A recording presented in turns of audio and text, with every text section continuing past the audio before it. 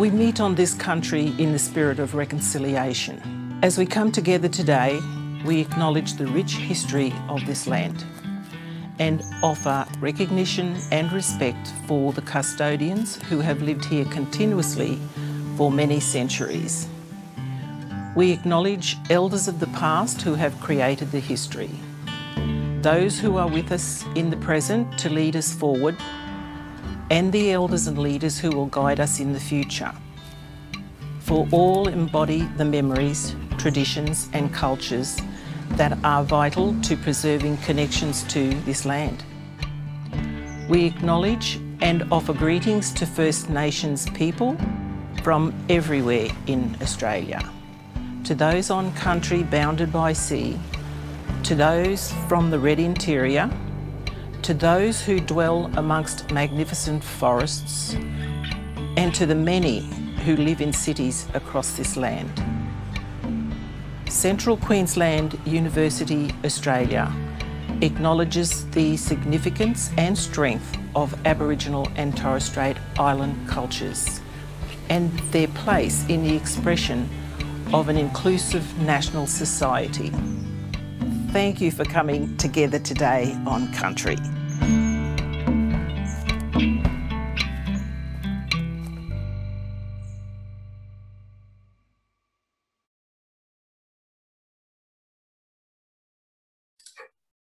All right. Good afternoon, everyone. My name is Ashley Clark, um, and I'd also like to acknowledge the traditional owners of the land. I'm dialing in from Wurundjeri and Bunurong country today, and I'd like to pay my respects to elders past, present, and emerging. Um, and I'd also like to take a moment to invite each of you to write in the chat um, where in Australia or, or where in the world you're dialing in from today. So I will be the moderator for today's session. Um, as I said, my name's Ashley. I'm one of the program managers for CQ University um, and I work in the Office of Social Innovation. But um, you're not here for me and you're not here to hear from me. You're obviously here to hear from our wonderful presenter today, Leslie Yulang Lowe. And I'd like to um, invite Les just to introduce himself and tell us a little bit about um, where he's dialing in from, but also um, what, what has brought him here today with us today. So Leslie, I might hand over to you. Uh, good afternoon, everybody. I hope you can hear me clearly. So my name is Leslie Yulang Lowe, and I'd like to acknowledge the traditional owners' land that we're being in from today, and that is the Taribelang people in beautiful Bundaberg. A little bit about myself. Um, my mob's originally from the Bundjalung country, the Northern Rivers. That's great-great-great-grandmother's country. I was born down in the nation of the Eora people, which is down in Sydney um, but travelled extensively around the country with my family at a very young age. Um, was basically what our people did back then. So we were fruit pickers. Um, so during that time, I got a lot of, I suppose, cultural education in the southern country, down around Victoria and the Koori people, um, and then moved up into Queensland when I was younger. Uh, finished school up here, started a trade, and then basically travelled all around Australia doing different jobs. Um, I suppose one of the things I always wanted to do was go to university, and I got that opportunity when I was about 40. But that came with a, I suppose, a long journey along the way. So a bit about me, and I'll hand back to um, Ashley now to continue on. Thanks, Les. Um, so I will start with some of the formalities. Um, so just a bit of an agenda for today. Um, so Leslie will be taking us through um, a bit of a presentation about social innovation through an Indigenous lens. But before we get into that, um, I'd just like to kind of touch on a little bit about how this project and this presentation came about, um, a little bit about social innovation at CQ University, and also um, let you know how we can obviously ask questions because this is supposed to be a bit of a participatory session. Um, so for those of you who have Slido or have used Slido in the past, um, you can either go to the website, so it's sli.do, and just type in the hashtag ULANK. Um, otherwise, you can just scan the QR code. I think most of us are used to scanning QR codes, and it's pretty cool that you can do it from your screen as well. So um, any questions that you have throughout the session, please pop them in um, Slido and um, yeah, we'll get to them either halfway through. Hopefully we can have a few points where we can ask questions also to give Leslie a bit of a break from presenting. Um, if we do have enough time at the end, we will open it up for a discussion and a conversation, um, but that will just be time dependent. So a really important thing that we do want to know is that um, it doesn't reflect the voice of all Indigenous peoples, but it is informed by um, a lot of research, consultation with the Office of Indigenous Engagement and other Indigenous people. Um, when we talk about social innovation, um, we recognise that it's our approach to social innovation in terms of the Office of Social Innovation at CQ Uni. Um, and obviously today is really through the lens of Leslie. So when we talk about um, an Indigenous lens, we're talking about through the lens of ULANG. Um, and it is designed to provide a very baseline um, understanding of the complex social structures that are um, a hallmark of Indigenous society um, and Indigenous ways of knowing, being and doing. And so we really recognise that, you know, we can't um, go into deep complex systems in today's session, but um, we hope that, yeah, it's just an opportunity for you to, or for Leslie to, to, shed some light on some really innovative practices and, and ways of being pre-invasion. So really quickly, just to um, talk about, you know, why are we doing this presentation and, you know, how does social innovation fit into CQU's agenda? Well, we've always uh, prided ourselves on being a really engaged university. Um, we have a great guide to indigenous we're really committed to social innovation. It, the UN SDGs are, are littered throughout our strategy, um, and we're actually Australia's only Ashoka U Changemaker campus which Ashoka U is actually how this project came about. Um, we, when we talk about social innovation, without going into what is social innovation, you know, to kind of summarize, we really recognize that we are facing some complex challenges that are impacting people's lives and the environment. And if you break it down, we have four options. We can explore novel and new ways of doing things. We can improve what we're currently doing can change nothing or we can do harm. And social innovation sits in this intersection of exploring new and novel ways or improving what we're currently doing. And we really recognize that a social innovation mindset is an Indigenous mindset. 65,000 years, 65,000 years, the longest living civilization on the planet. You know, that's for that's not just for no reason. Um, I think that the things that I've come to learn through my research and my understanding and the yarns that I've had with Les and other Indigenous people, you know, Indigenous, we can learn so much from Indigenous ways of knowing, being, and doing, and that we really need to start to recognise and celebrate and elevate Indigenous people as social innovators. So this project came about um, from a grant that was funded by um, the Fetzer Institute and, and Ashoka U. And Leslie actually came to me because we met about four years ago now when I was running a social innovation project in Gladstone. And I think that was the moment that he said, hang on, social innovation mindset is an Indigenous mindset. And we really, you know, kind of connected um, through that project.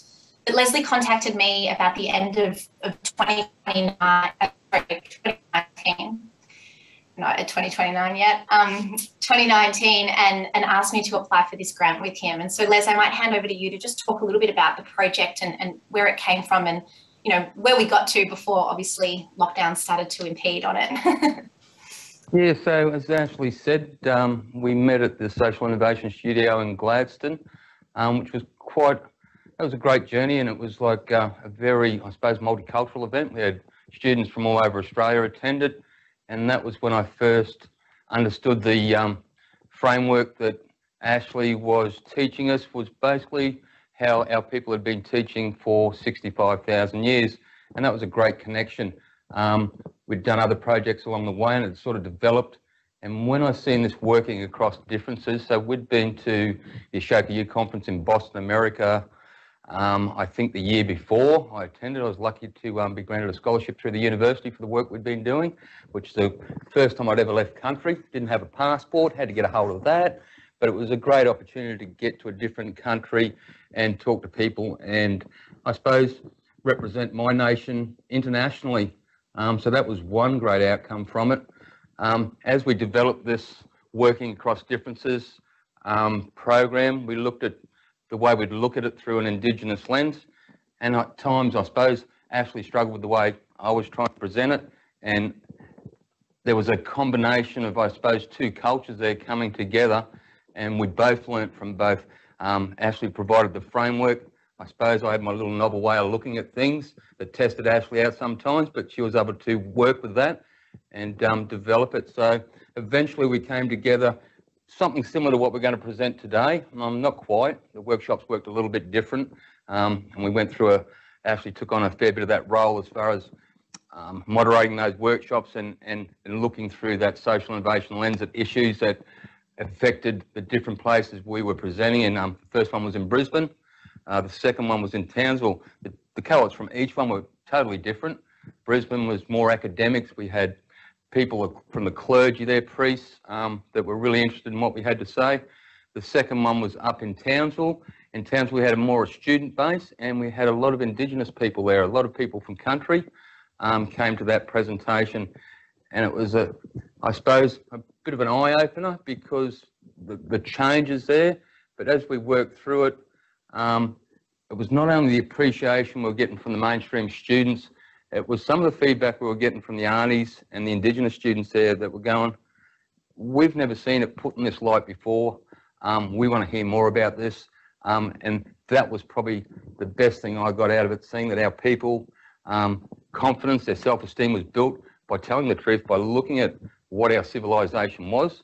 Um, often I hear it called a culture, and I'm like, well, a culture's one one definition, but you when you look at a, a civilization that has religion, commerce, we have our ways of education, um, we have all those things of the hallmarks of a civilization, mass agriculture. So we're able to uh, have our arts, have our festivals. It frees people's time up to explore those philosophies and um, enrich their society. So that's where we took it. We had some great outcomes.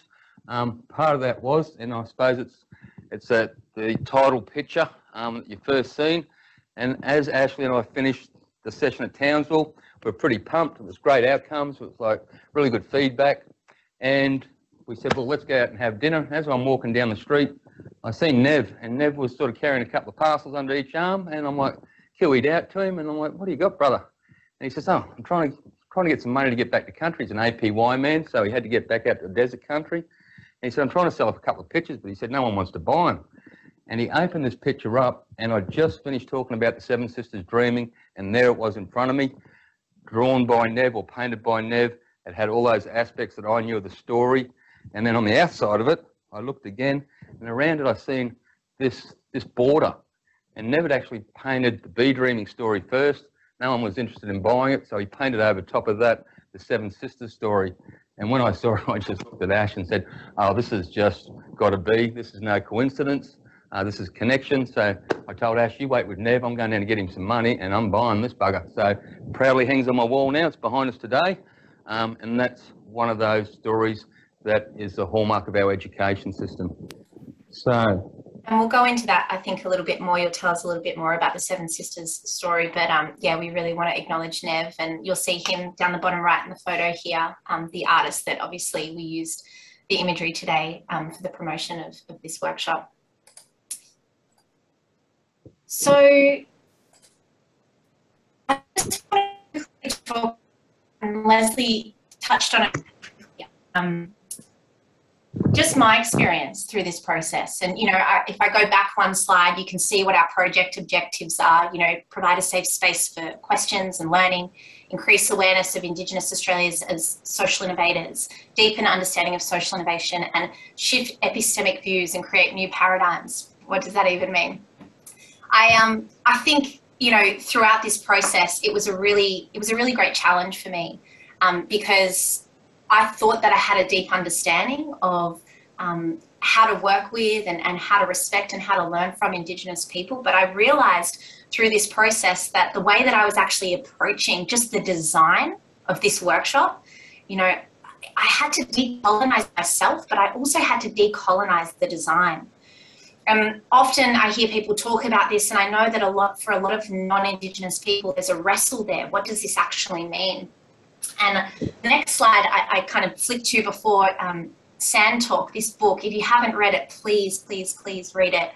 How Indigenous Thinking Can Save the World. And Tyson Yunkaporta puts so many, um, you know, stories and, and, and ancient, you know, knowledge systems and ways of thinking in this book. And there's one passage that I just wanted to share before we get into um, Leslie's presentation that really stood out for me and I think it really captures, you know, my own experience, um, you know, working with Les and really kind of challenging myself to decolonize myself. So it says, explaining Aboriginal notions of time is an exercise in futility as you can only describe it as non-linear in English. It's only describing the concept by saying what it's not rather than what it is. We don't have a word for nonlinear in our languages because nobody would consider traveling, thinking, or talking in a straight line in the first place. The winding path is just how a path is, and therefore it needs no name. One man tried going in a straight line many thousands of years ago, and he was called a wamba, crazy. And he was punished by being thrown up in the sky.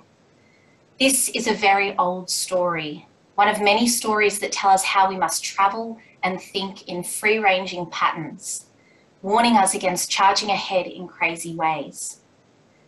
And I just love this because I think when we think about social innovation, when we think about systems thinking, when we think about actually creating change, transformative change that's going to have a positive impact on people and planet, we need to challenge ourselves to not think in linear ways you know, not think in the ways that things have been done in the past, but consider free ranging, you know, thinking and patterns and think in systems.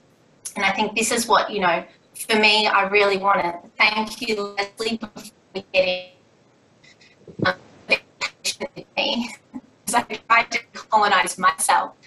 Um, but I also challenge all of you in the room with us today to think about when you're leading teams or holding spaces, what lens are you bringing?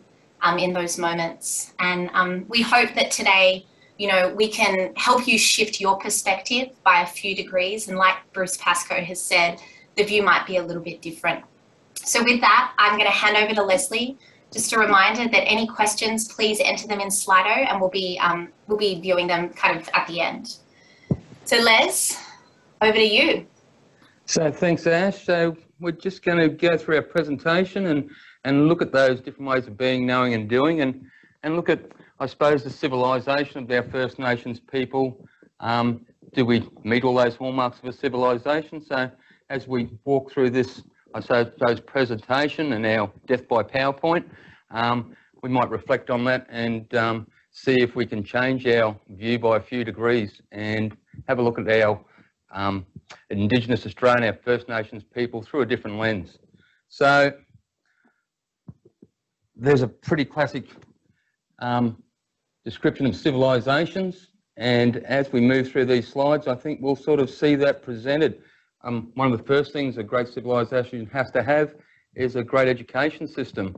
Um, and our education system has been um, taught through what we know of 65,000 years of continuous history, um, passing down that knowledge and passing down that knowledge through a system of and this is how it's been explained to me, and it might seem to be in simple terms, I suppose, but to me, it can be quite complex when you start unpacking it. I've always been told to tell the story, paint the story, sing and dance the story. Um, if you can do those things and put that story through those three lenses, um, you keep it complete and the same. The Seven Sisters, I suppose, epitomises that story. It's told throughout Australia, to the Torres Strait Islands, in different formats, but it forms part of that learning not only the education system around how we're supposed to act in our society and our communities, but also it starts to touch on that ethno-scientific knowledge. Um, the Seven Sisters of the Pleiades system, um, as we know it through modern astronomy. Um, down here, that's we're, we're, related to the Seven Sisters, or the um, Merian is one word it's called in Aboriginal language. Um, it has many other words around the country and the storylines change, but generally it's around um, respect for women. Um, it's teaching our children to they have responsibilities in their society, and that's that first part of our pedagogy where our children, our women are in charge of their learning through early childhood, and that reaches right through to their early teens um, as they start moving through those circles learning I often refer to it as the seven circles of learning. You drop a pond into a pool of water and it resonates out. As it resonates out, that's our growth and our learning and as we mature both in body and mind. So with the didactic learning system, um, with our teaching ways, the way that we present that, um, I suppose, is really, it's sometimes seen as simple, but then when you start breaking it down, it becomes quite complex. And as you'll see in the next slide, we have um, two sets there. We have um, some APY women with their children out in the um, out in the desert country, and we also have um, a camp that we did not long back with um, a set of our children from Rosedale. Um, both paint-ups in this picture have constellations wrapped around them. You'll see the women from the APY land. That's a paint-up they've been using in their ceremonies and rituals for tens of thousands of years. Different constellation for that ritual. And the three girls on the, the right-hand side of that picture just came back from the Turrburra land, which is out near Aramac, Barcaldine in Western Queensland. Um, that paint up is actually the Seven Sisters on their foreheads, and it's something we're going to do at their NAIDOC celebrations in weeks to come. So we took these children out to try and expose them to these traditional learning ways. Um, and out there we had a, a woman of, I suppose, international renown, now Auntie Susan Thompson. So they have recently been handed back what was Gracevale Station, which has now been renamed Turrburra after the original people from that country.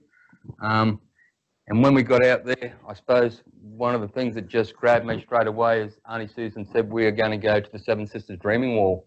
And I just went, oh, I've come to the right place. Um, we went through that system of learning. Um, the growth from the children was just amazing to see that they took it on. Um, they were learning complex systems about constellations, navigation. Um, they were touching on plants and ecology.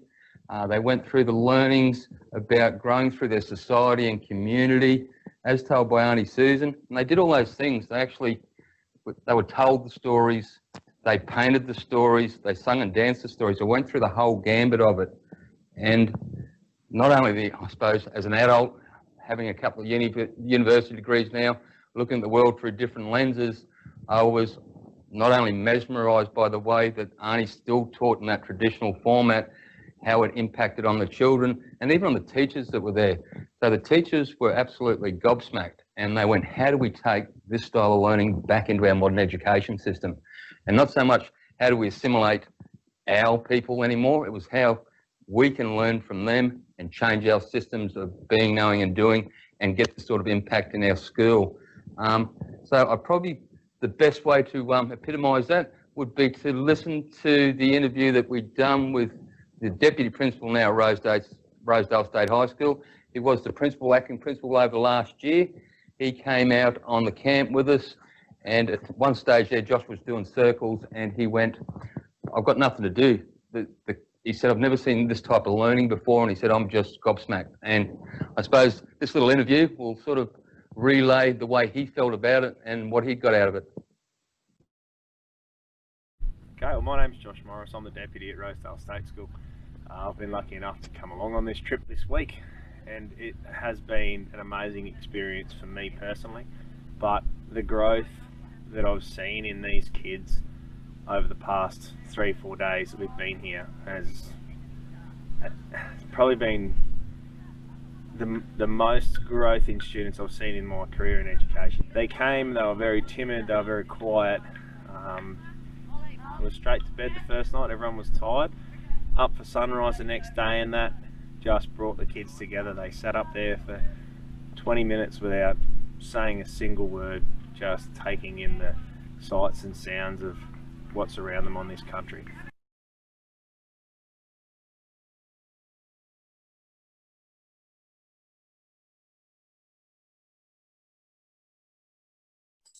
Les, you're still on mute. oh, hang on a minute. I might need to, Pete, if you can just press the button.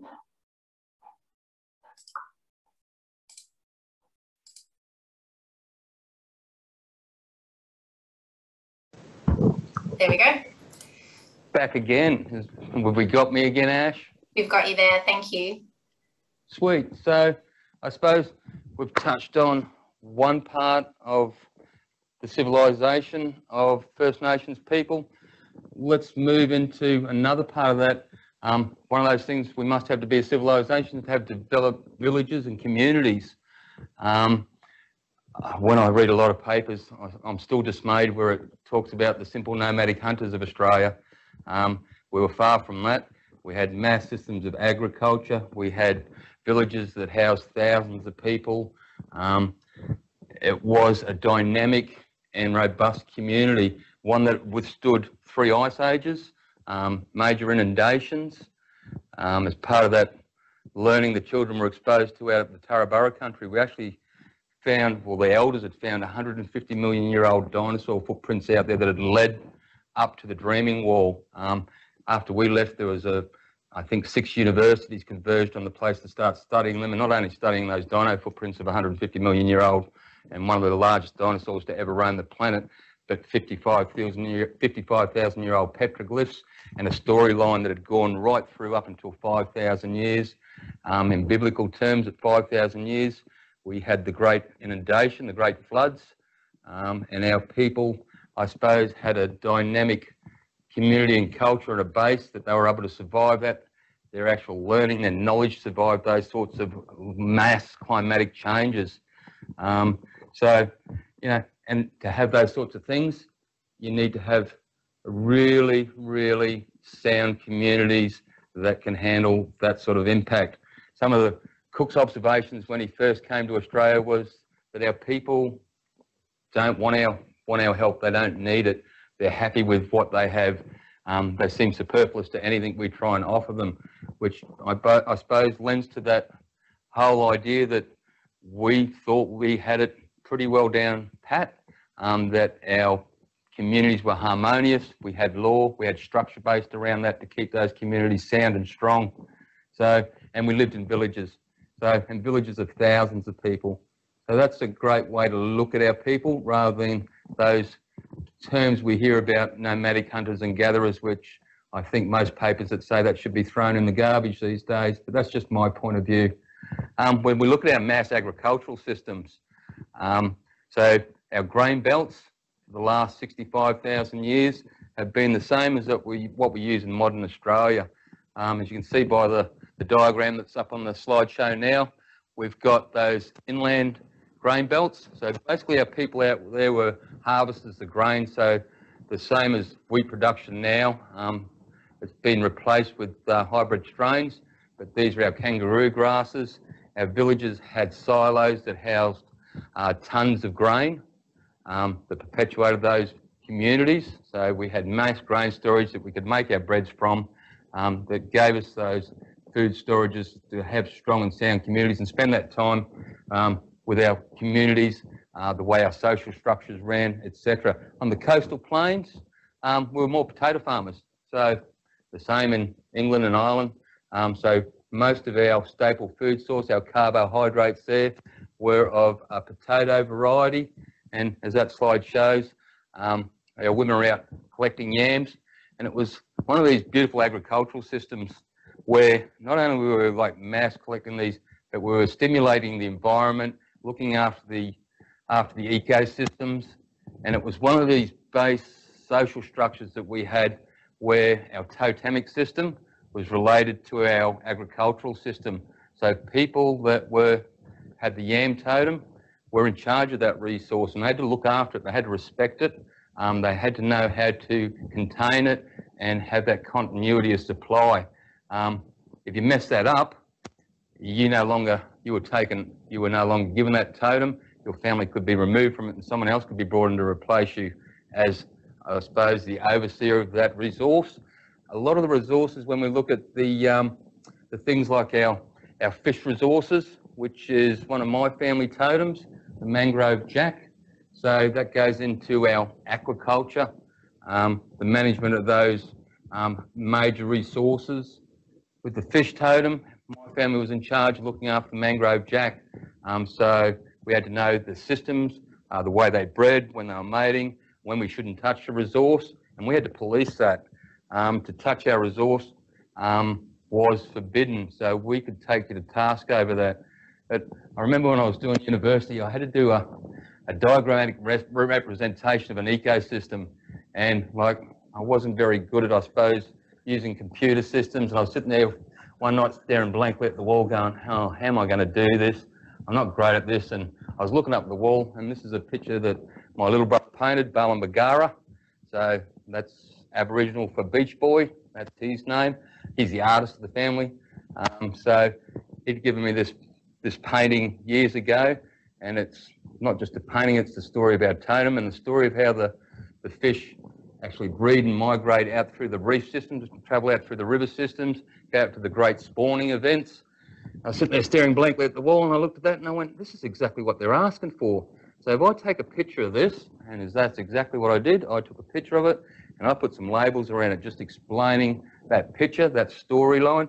I think it was the first distinction I ever got at uni, so it was a great, I was like thrilled and I told my little brother about it. He was pretty rapt about it.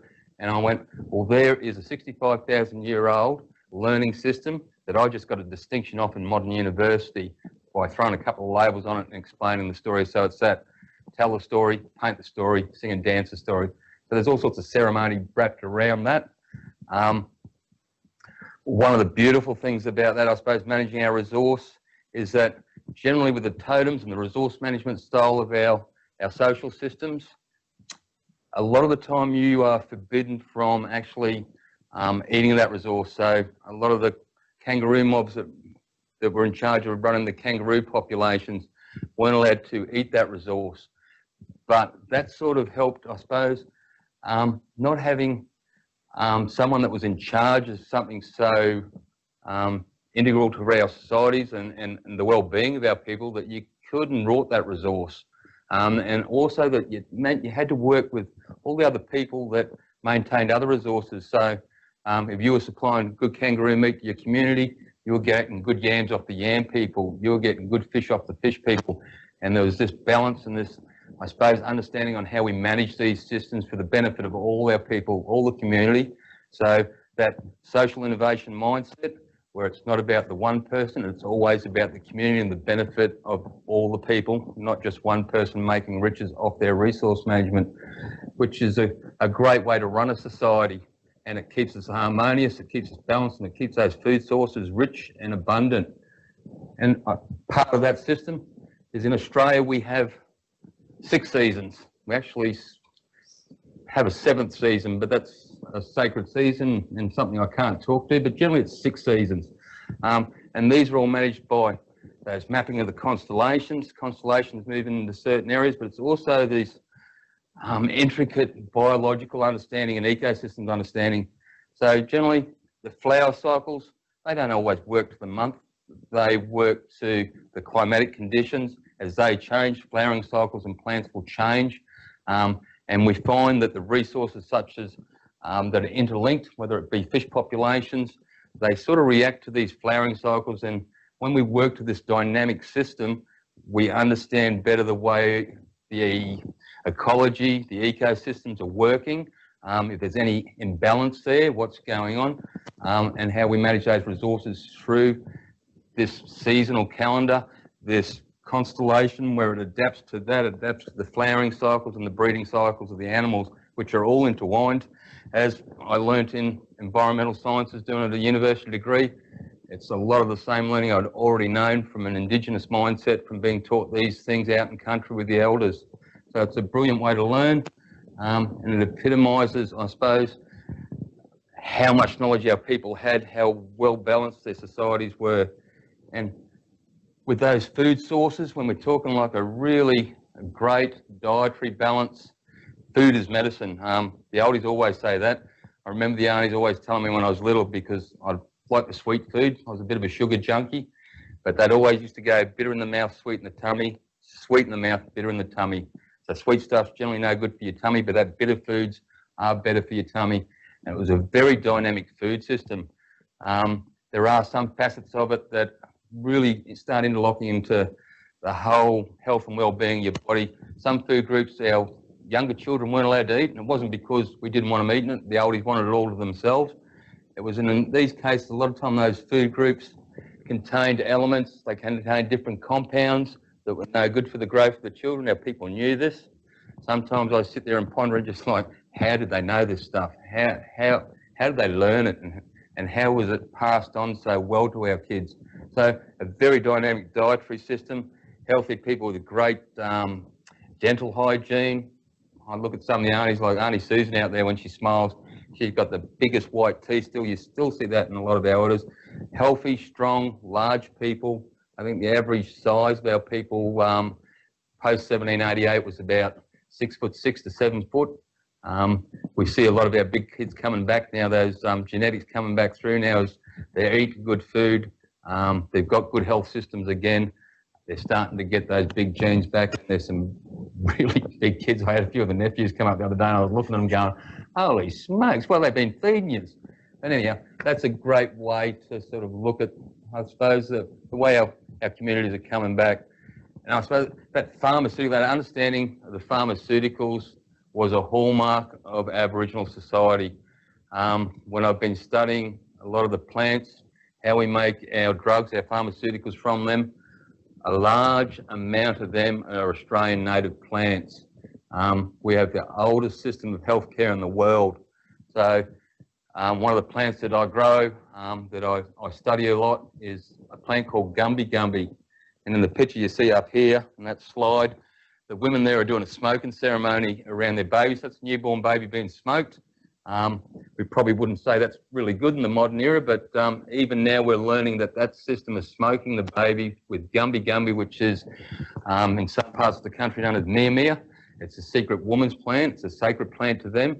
They were the first women in the world to practice pre and postnatal care of their babies and themselves. Um, this ceremony not only protects the women and helps them heal, it protects the child. The plant has antibacterial, antiviral, antifungal.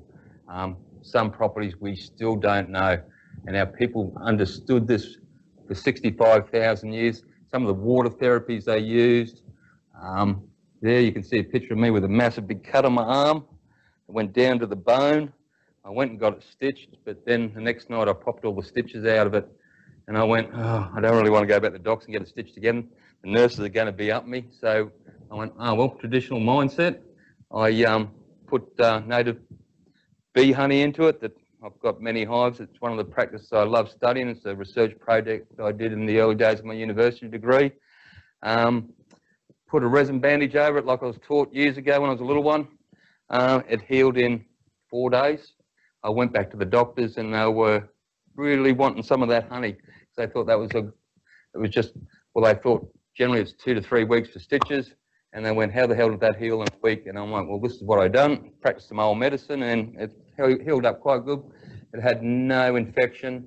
Um, I didn't have any pain from it. So I went, well, you know, 65,000 years can't be wrong. So we've been practicing this medicinal style of stuff for ages.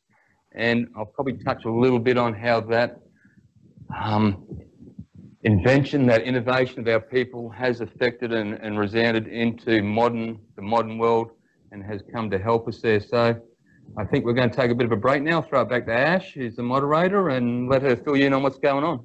Yeah, well, I think you probably deserve a bit of a, a, a drink of water and a five minute break. Um, thank you, Leslie, for everything that you've shared so far. And I can see that there are some questions coming through on Slido. So just a reminder, if you do have any questions, you can jump onto Slido. We are going to take a five minute break. I think, you know, a lot of us have Zoom fatigue, so please go and get a cup of tea. Um, come back at 3.45 if you're um, Australian Eastern Standard Time. If you're not, five minutes from now. Um, but yeah, if you would like to ask a question in Slido, please do or just you can go on and see the questions that have been asked and you can actually um, up like questions. So we'll ask the top top rated questions, I suppose. Um, so yeah, 3.45 um, if you're on Australian Eastern Standard Time or four minutes from now if you're not. Um, grab a cuppa and we'll see you back in a minute. Nearly lost it. Do you want to just mute us, Ash or Peter?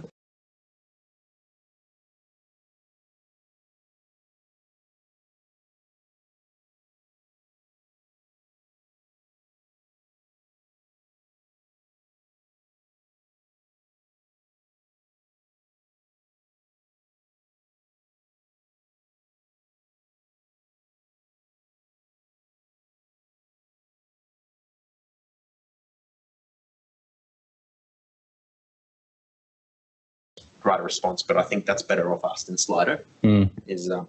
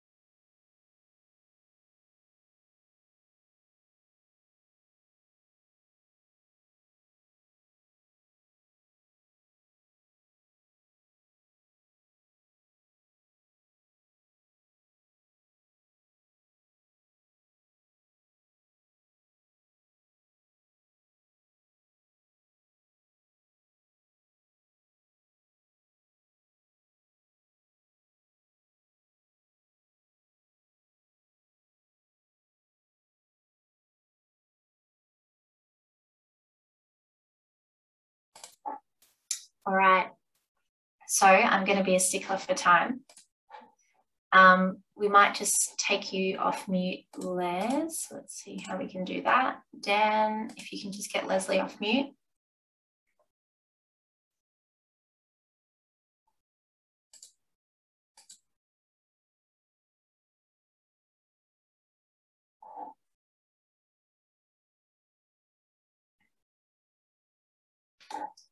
I have asked to unmute. Try again.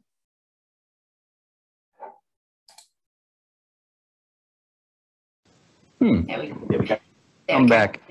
Thank you. How good's a tech guy? Good to have tech guy. Now I'm not pushing Love- buttons. Thanks, Dan. Appreciate you. um, so, Les, I might just ask you, what would you like to do now? We've got a couple of questions. On Slido. Would you like to respond to some of the questions, or do you want to kind of keep going with the presentation and do the questions at the end?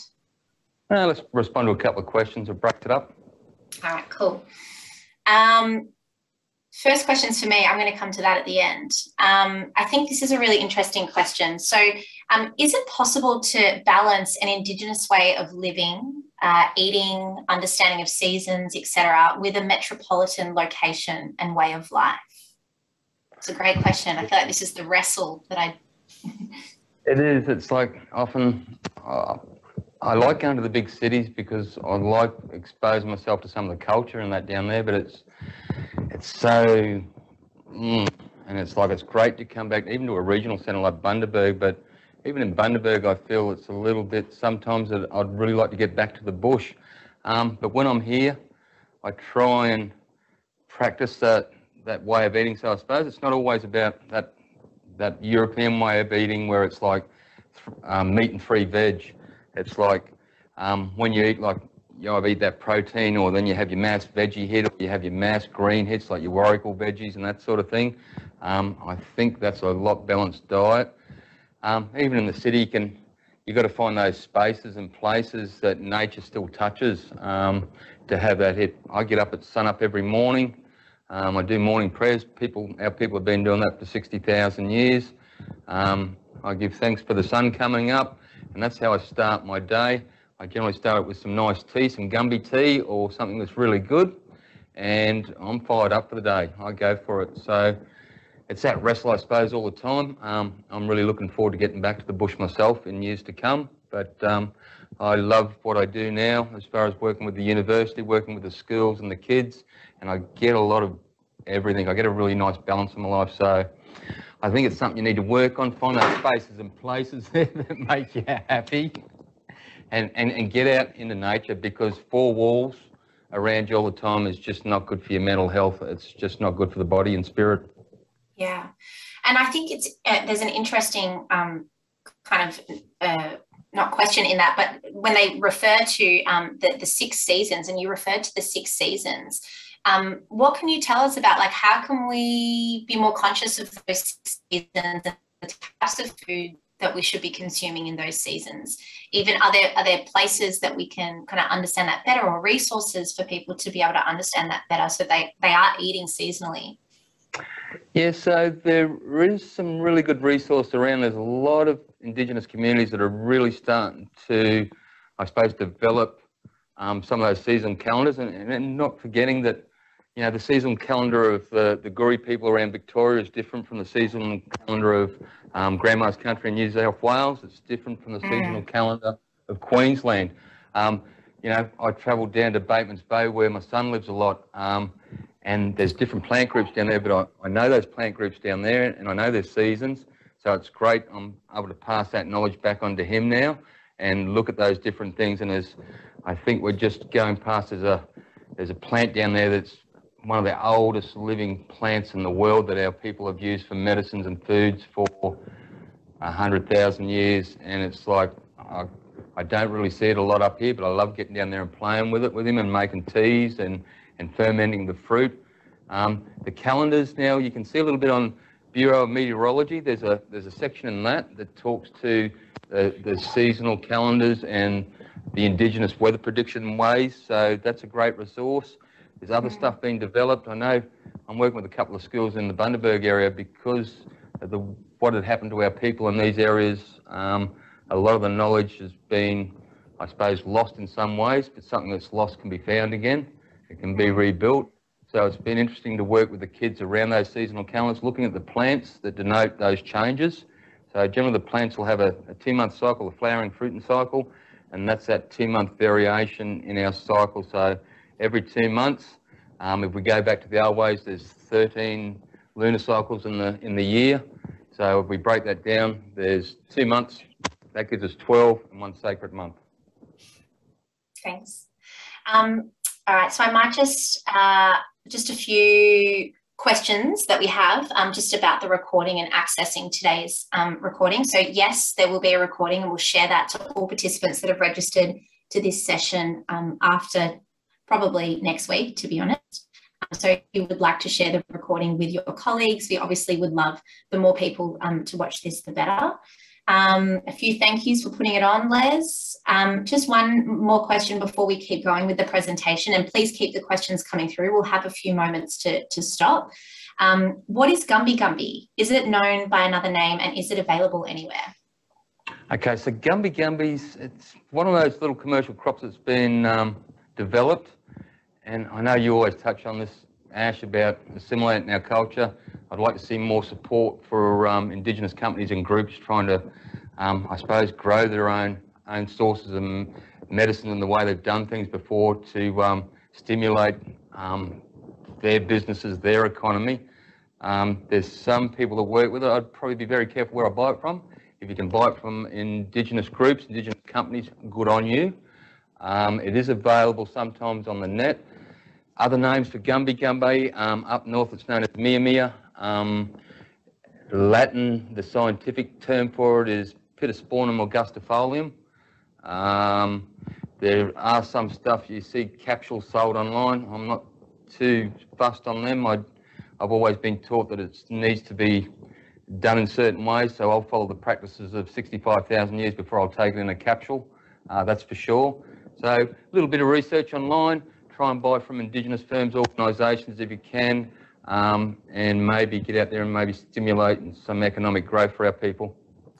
Yeah, and I think that that's a really important point when we are talking about Indigenous knowledge, Indigenous ways of knowing, being, and doing. It's really important that we're not appropriating that knowledge and appropriating those practices.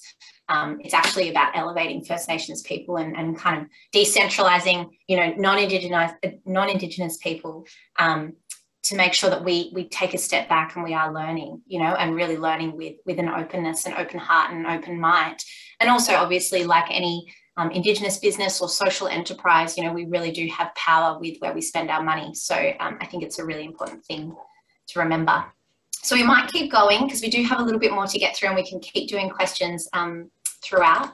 So Leslie, just tell me when you can see the slides and then we can kind of keep going and talk a little bit about law and regional gov governance.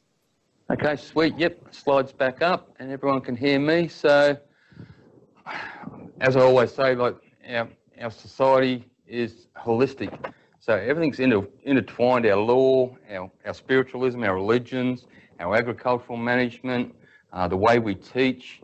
Um, when it's an holistic environment and it's all intertwined like that, um, we don't have these systems like in the modern day when you have agricultures here, you have your environmentals here, you have your education system here, you have your legal system here. Um, what happens when something starts to go wrong in one of them? It goes wrong pear-shaped pretty quick because none of the other systems realise what's going on and all of a sudden that's really detrimentally affected the rest of the community and society. Um, I think when they're all interlocked, um, they all rely on each other. When something starts going wrong with one another, it resonates through them all and that's a great way to hold that social co cohesiveness together. Um, our marriage systems, um, I think is something that I, I really love researching and studying because our marriage systems, our moiety systems, aren't just about who you're allowed to marry, they're wrapped around the very genetic lines of our people. So um, Indigenous people have one of the most uh, diverse genetic makeups of any race in the world. And this is because of these moiety systems. Um, when we look at it, it's not only related through um, four to eight to 16 different groups of marriage interconnections. It's also um, through some of the, the, research I've been looking at, it's, it's related to our blood groups. And I don't know if there's any nursing faculty out there or doctors, but when you start getting into that level and you, you talk about some of the issues that um, we have with modern pregnancies and that, um, because of the, the intermarriage sequence in our modern societies that didn't happen back in our day because of these moiety systems. Um, not forgetting that our law systems were diverse across the country, but um, when people say they're all different, I go, well, probably, yeah, they are a little bit different, but they're more alike than they are different. Um, so some places, um, a lot of the places I know, um, we follow our mother's line, that maternal mitochondrial DNA. Um, we can follow that line a hell of a lot longer than we can any other line. We know that through modern genetics. Um, I often ponder and think, well, how did our people know this 65,000 years ago if this is related around modern genetics and we've just started to understand about the female mitochondrial DNA that we followed our mother's line, not our father's line.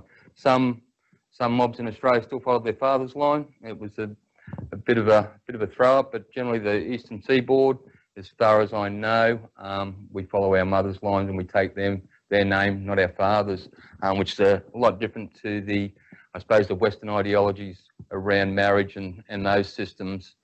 Um, the education, the environmental, we, we've touched on that, you know, but once again, how it all interlocks together and forms that holistic arrangement. Your totemic systems that talk about your resource management are related back to your family systems. So it's, it's a really dynamic and sophisticated system and it's not so simple to break down in, in a five or 10 minute yarn up, that's for sure.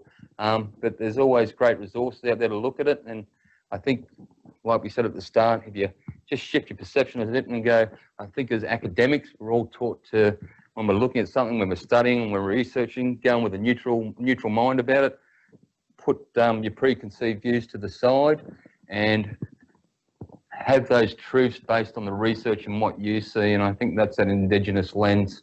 So um, I suppose when our people come together, it's like we did this when we started um, setting up the workshops, and this really done Ash's head in because she's like, "Les, we need five minutes for this, we need 10 minutes for this, we need 15 minutes for this. And I'm like, yeah, yeah, I sort of get your sis, but can we can we do this where we just have like a cup of tea and we get everybody into a room and we start yarning up and we sort of go through that process.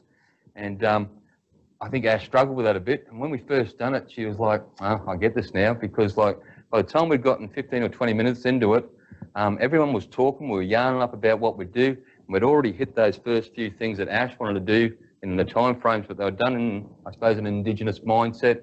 Everyone was relaxed and just moved into the sessions really well. And um, I think the sessions were really well facilitated from that Indigenous mindset, just coming together, having those yarn ups with our law system. Um, intricate and complicated. One of the things I see with them is that um, when our people came together, when the elders came together, um, whether at the Bora Council, the tours, um, whatever description they are from the nations, it was really well done because our people weren't allowed to tear each other down. Um, if there was an issue or a problem with our social structures, our community, the people come together, they'd have that time to get to know each other and, and they were already discussing the issues in a, a subliminal way. When they came together to council on it, it was, um, if you come up with a, an idea or a way to like address this issue, some way that we could move forward on it, uh, you didn't have 10 people trying to tear you down and tell you that you, were, you weren't right or, or make you look bad. That was taboo. Um, you had to come up with a better idea. You couldn't tear that person down. Like, I would come up with a better idea or shut your mouth was the basic ideology behind it. I think if we use that in Parliament House these days, uh, we wouldn't hear half the rubbish we hear going on there. It's like if you haven't got a better idea, move on, hey? Um, so generally, if no one had a better idea, the idea that was proposed, set forward. That's the best one we've got. Let's work with it. Let's go through that process. And it's that human-centered design process that we study at university now. You know, that inspiration, ideation, iteration. I've probably got that wrong and Ash will be going, but we go around that circle. It's a dynamic learning process. Um, if we don't get it right, let's go around again until we get it right, get it set so our, our, our is happy and harmonious. Um, when we look at the way our boundaries were set up, um, something I was looking at years ago, and I like really started to think how deadly were our people when they had this. Rather than having geopolitical boundaries, we had geographical boundaries, and the mindset of that I, I see um, in the 2013 floods and the 11 floods in Bundaberg, how well our our geo our geological boundaries, our geographical boundaries work because when we had the big floods and through the different watersheds, so um, a good example was Bundaberg and Gladstone. So as we go up the coast, um, the cutoff for Bundaberg and Gladstone is down a geopolitical line. It finishes, I think, just this side of Rosedale, but it's right in the middle of a watershed. So the people at Rosedale were in the Gladstone regional boundary, in the geopolitical boundary.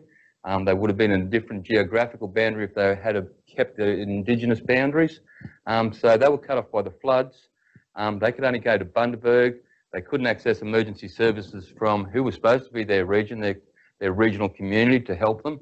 So they were basically tied into our area, which was using that traditional geographical displacement. So on the river systems, on the watersheds with mountains, um, and that's the way our countries were set up. So when it came to these climatic um, emergencies, uh, like massive floods, these sorts of things, our people were able to help each other out and remain connected. I think that's a, a really good thing we should learn in the modern era and maybe start looking at those geopolitical boundaries rather than worrying about 50 votes or 100 votes up in that area. Worry about how we help our people in uh, times of distress and in uh, emergencies such as floods and fires. So one of the beautiful things about using our astronomical knowledge is that the stars never change. Well, they do over millions of years, but not over hundreds of thousands of years. They're always there, they're always the same. Um, and we can use that those systems that have been around for so long to actually guide ourselves around the country.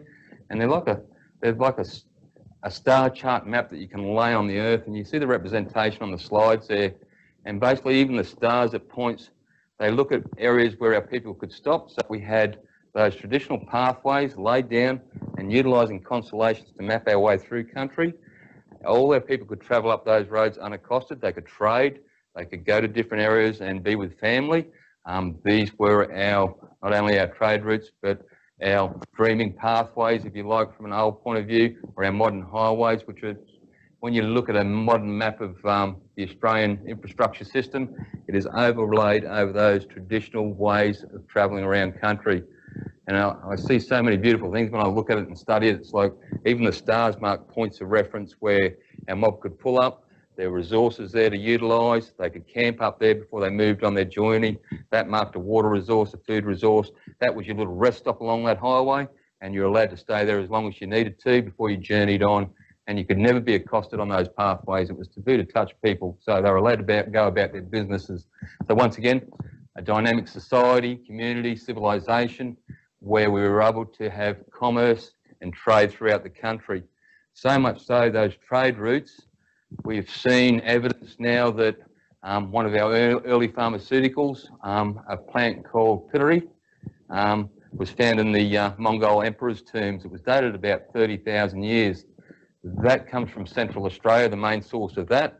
Um, the complex nature of actually making the compound, if you don't do it right, it'll kill you. It is one of the most toxic plants in the world as far as using it. It'll kill um, large beasts, like if cattle eat it, they'll drop dead. Um, so to actually make it up, you had to have a complex understanding of chemistry. Um, it is both, uh, I suppose, a pharmaceutical and a narcotic. It's got both both uses, but it's been found, you know, 10,000, 8,000 kilometres away, buried with a Mongol emperor, and dated around 30,000 years. So that trade route not only took it through Australia, it would have taken it up into the Macassans territory, would have been traded by the top end people um, into Indonesia, up into Asia and into China, and it's found it's all the, all the way up to Mongolia.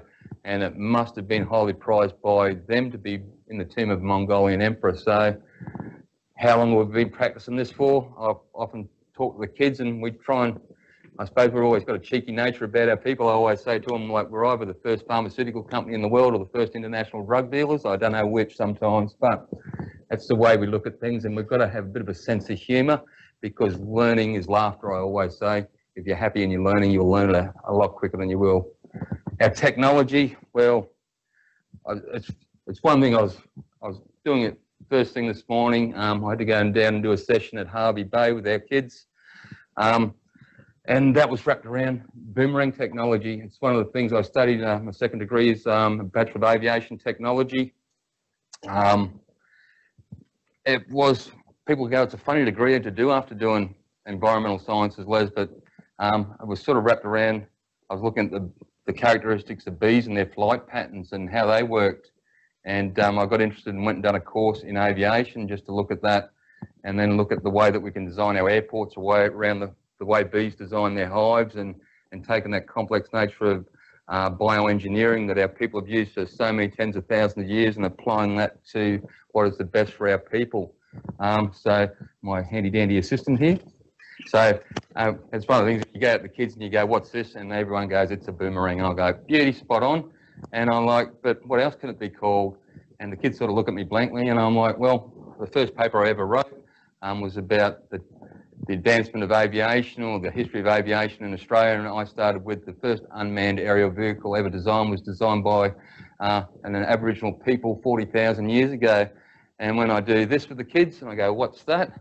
They go, oh, that's an airplane. And sometimes I have to make the sound and go, and get them going. But anyhow, we get there eventually. Um, and it is.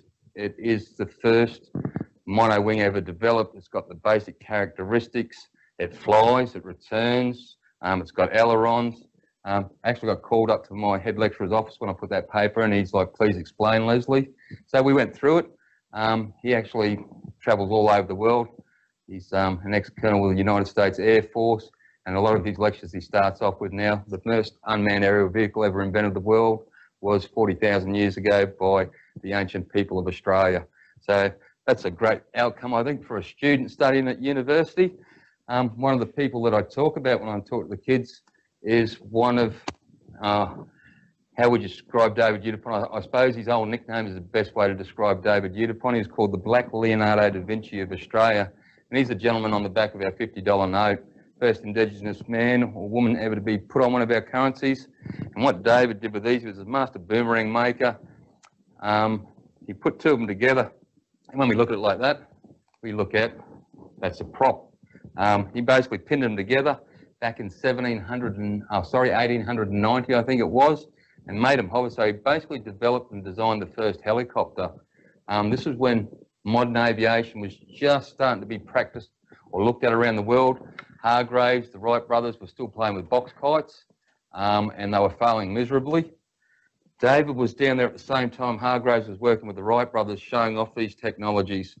Um, and then all of a sudden there was inspiration, there was iteration, there was a process that the Wright brothers and Hargraves went through and in a very short manner of time, some of the first planes were being designed and built.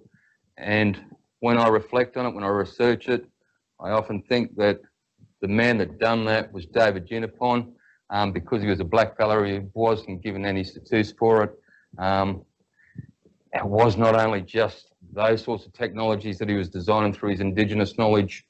It was, if you look at the uh, the $50 note, you'll see another thing there is the shears up there. So David developed a set of reciprocating shears. And when we talk about social innovation, um, how something benefits the whole community, it, it, it benefits the, the nation, all the people, not just one person. Um, so an invention is something someone can invent. He invented that, but what they did then was to go on and scale up the production of the manufacture of wool. So basically they were mechanical shears. The production was scaled up. It's often said that the wealth of Australia or modern Australia was made off the back of a sheep. So that man is responsible for scaling up that production and providing Australians with so much wealth and benefit. Um, when we look at how that sort of, I often take this out because we fly our drones now. And when I'm talking with the kids, like we have all sorts of fun with these. Um, we go out and we teach them how to make boomerangs. And then often I'll say to them, that is a camera slung, un, slung under four boomerangs. And that technology should be given to this man here, the Black Leonardo da Vinci of Australia, um, a man with no formal education, um, a brilliant man in his own right, but as always, uh, he was given no recognition. He died penniless um, and probably lonely. Um, but having said that, we're starting to recognise some of these beautiful inventions and how they've innovated and how those innovations have affected us all. So, next slide. Pardon me, dry throat. So, one of the, I suppose, the, the greatest social innovations I see from my people, um, just from my point of view, is the development of sport and recreation in our communities. Um, and we've been doing this for tens of thousands of years. So we took war and conflict and we turned it into sport and recreation. And you can see this dynamic, I suppose, flow and innovation through our societies over 50,000 years. When we look back, um, there was a lot of conflict in our society, but the elders somehow understood this and they went, how do we change this dynamic with our young people, especially with our young people, because we know what young people are like. They're a little bit um, uh, short fused, could I say, at some stages. And how do we take that energy? So the elders even started manipulating those conflicts and turning them into a more a ritual. And then that ritual developed into sports.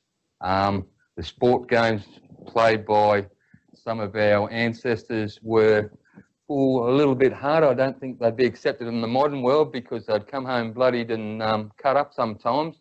But they indeed developed the sport and recreation um, to continue this harmonious society. So when there was conflict, it could be taken out in the sports field. And you know what it's like in the modern era? There's a lot of papers being write, written now about the mental health that sports brings to our people, how dynamic it is for us. Um, and you think that our people were practicing this, they understood this way of the social cohesion 50,000 years ago, and they started modifying their communities and developing these ways of having sport to um, to lessen these conflicts. um, I think is one of the, the greatest innovations of our people and understanding that, that psyche of their people and being able to develop this.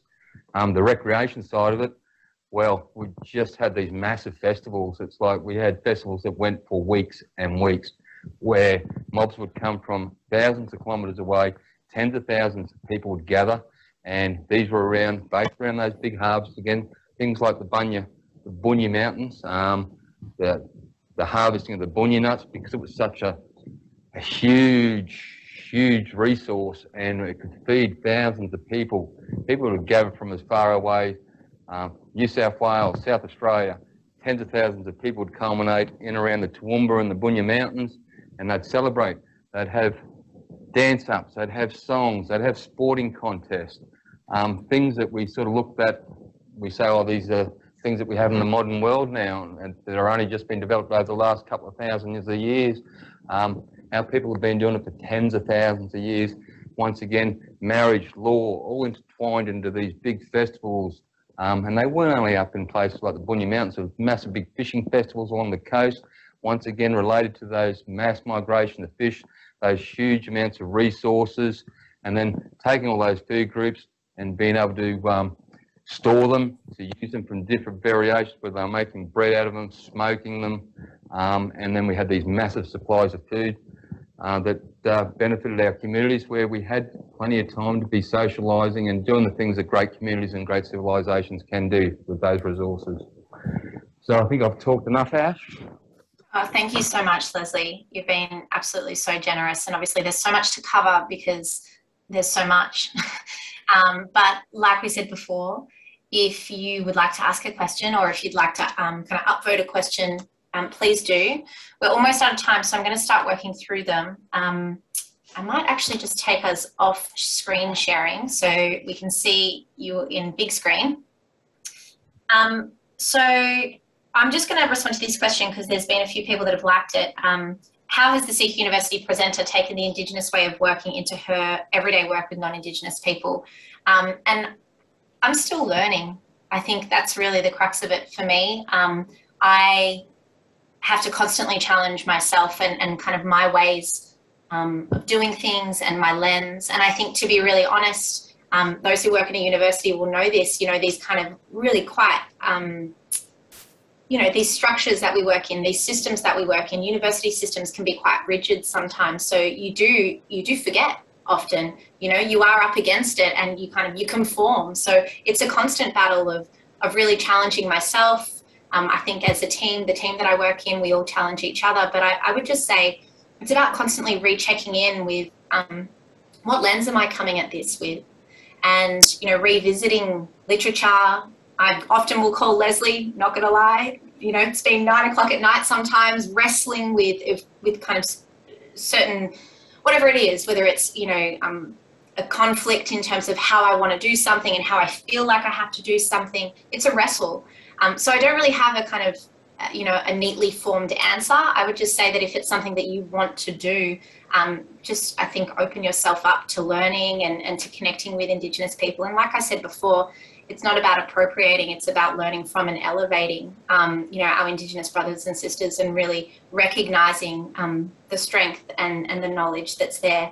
But I think as well, something that I've learned from Les as well, it's also about recognizing that there's a lot of lost knowledge and there's a lot of loss as well. And so not every Indigenous pe person can stand up there like Leslie today and know all of the things, you know, about pre-invasion and, and the, the strength of this civilization. And so I think um, we need to check ourselves in those moments as well. Um, it's you know it's about being invited into a conversation and being really um, really patient and you know I don't know. Uh, Les did you want to touch on that particularly? Because I think that's something that you helped me realize is that you know and there was participants in the room with us as well who this was this was new information to them and yet they're indigenous. Yeah, and it's that, that loss of connection, that, that loss of our education systems. But like we say, there's, you know, what's lost can be found again. Um, it's always great. You see how people, we, we're struggling so hard to regain it. Um, and I think it's a struggle that goes on. But when we have good people like Ash working with us, the universities and like promoting this, one of the great things I've seen, I was lucky enough I got a Social Alumnus of the Year award for CQ University.